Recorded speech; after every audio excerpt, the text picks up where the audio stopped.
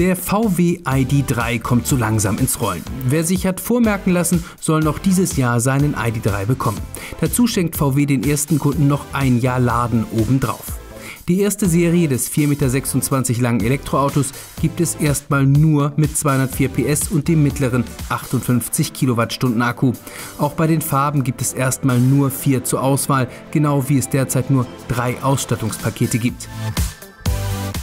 Das Basismodell soll dann danach folgen. Für 40.000 Euro kommt es auf den Markt. Wer sich für die Plus-Version entscheidet, bezahlt 46.000 Euro und rund 50.000 Euro kostet dann die Top-Version. So viel zum Preisniveau.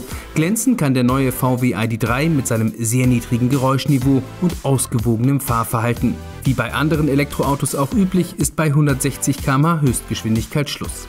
Der Fahrer hat die Wahl, ob er den ID3 wie einen Verbrenner im D-Fahrprogramm rollen lässt oder im B-Modus mit maximaler Rekuperation und dem sogenannten One-Pedal-Feeling.